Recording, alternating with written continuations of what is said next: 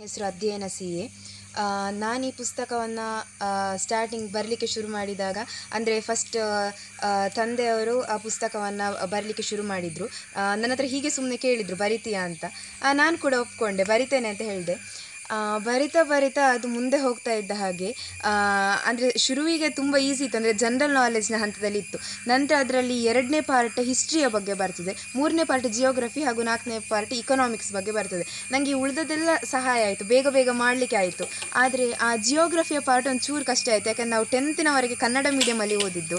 ಆ, ಅಲ್ಲಿ ಜಿಯೋಗ್ರಫಿ ಕನ್ನಡದಲ್ಲೇ ಓದಿದ್ವಿ ಆನಂತರ ಯಾವತ್ತು ಜಿಯೋಗ್ರಫಿ ಓದಿರಲಿಲ್ಲ. ಸೊ ಇಂಗ್ಲೀಷ್ನಲ್ಲಿ ಬರೆಯುವಾಗ ಸ್ವಲ್ಪ ಕಷ್ಟ ಆಯಿತು ಅದಕ್ಕೆ ಸ್ವಲ್ಪ ಟೈಮ್ ತಗೊಂಡೆ ಉಳಿದದೆಲ್ಲ ತುಂಬ ಫಾಸ್ಟಾಗಿ ನಾವು ಬರೆದೆ, ಅಂದರೆ ನಾವು ಫಸ್ಟ್ ಪಿ ಯು ಸಿಯಲ್ಲಿ ಓದಿದ್ದು, ಅದು ಇಂಗ್ಲೀಷ್ನಲ್ಲಿ ಬರಲಿಕ್ಕೆ ತುಂಬ ಸಹಾಯ ಆಯಿತು. ಅದು ಕೆಲವೊಂದು ಪದಗಳು ಇಂಗ್ಲೀಷ್ನಲ್ಲಿದ್ದದ್ದು ಬಹಳ ಕ್ಲಿಷ್ಟವಾಗಿತ್ತು. ಅಂಥದ್ದಕ್ಕೆಲ್ಲ ನಾನು ಅಪ್ಪನ ಹತ್ರ ಕೇಳ್ತಿದ್ದೆ, ಇಲ್ಲಾಂದರೆ ಡಿಕ್ಷನರಿ ನೋಡ್ತಿದ್ದೆ ಇಂಟರ್ನೆಟ್ ಈ ಥರ ಸಹಾಯದಿಂದ ಎಲ್ಲ ಬರೆದೆ. ನನಗೆ ಇದು ಸ್ಟಾರ್ಟಿಂಗ್ ಶುರು ಮಾಡಿದಾಗ ಅಂದರೆ ಇಷ್ಟು ಬರೀಲಿಕ್ಕಿತ್ತು ಅಂತೆಲ್ಲ ಗೊತ್ತಿರಲಿಲ್ಲ. ಅಂದರೆ ನಾನು ಅದನ್ನು ಸ್ಟಾರ್ಟ್ ಮಾಡ್ಕೊಂಡು ಹೋದೆ, ಆನಂತರ ಅಪ್ಪ ಹೇಳಿದ್ರು, ಇಷ್ಟು ಬರಿಬೇಕು, ಇಷ್ಟು ಆಗಬೇಕು ಅಂತ. ನಾನು ಇಂಥ ದಿನಕ್ಕೆ ಇಷ್ಟು ಆಗಬೇಕು ಅಂತ ಅಂದ್ಕೊಂಡು ಬರಿತಿದ್ದೆ. ಸೊ ಅದು ಒಂದು ತಿಂಗಳಲ್ಲಿ ಮ್ಯಾನೇಜ್ ಆಯಿತು, ಮುಗೀತು. ಆನಂತರ ಇದರಿಂದ ನನಗೆ ಬರೀ ಓದುಗರಿಗೆ ಮಾತ್ರ ಅಲ್ಲ ನನಗೆ ಕೂಡ ಇದರಿಂದ ತುಂಬ ಸಹಾಯ ಆಗಿದೆ. ಯಾಕೆಂದರೆ ಅವರಿಗೆಲ್ಲ ಅದರಿಂದ ನಾಲೆಜ್ ಸಿಗ್ತದೆ. ನನಗೆ ಕೂಡ ಬರ್ದದ್ರಿಂದ ಕೂಡ ನನಗೆ ನಾಲೆಜ್ ಸಿಕ್ತು.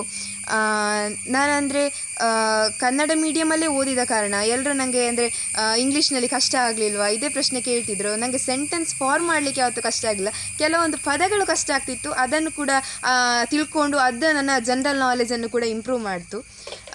ಅದಲ್ಲದೆ ಅದರಿಂದ ಬಂದ ನಾಲೆಜ್ ನನ್ನ ಮುಂದಿನ ಸ್ಟಡೀಸ್ಗೆ ಕೂಡ ಹೆಲ್ಪ್ ಆಗ್ತದೆ. ನನ್ನ ಇಷ್ಟು ದಿನದ ರಜೆ ಅದನ್ನು ವೇಸ್ಟ್ ಮಾಡಿದೆ ಅಂತ ಅನಿಸಲಿಲ್ಲ. ಏನೋ ಒಂದು ಒಳ್ಳೆ ಕಾರ್ಯದಲ್ಲಿ ನಾನು ಅದನ್ನು ಉಪಯೋಗಿಸ್ಕೊಂಡೆ.